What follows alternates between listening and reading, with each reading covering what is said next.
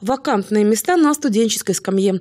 В Мозырском педагогическом университете имени Шамякина объявлен дополнительный набор на бюджет.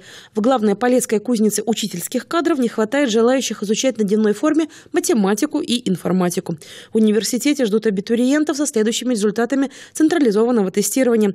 Русский или белорусский язык и физика от 10 баллов и выше. Математика от 15 баллов и выше.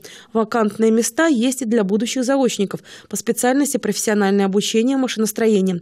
Документы в рамках дополнительного набора можно подавать с 26 по 28 июля. Зачисление завершится 31 июля.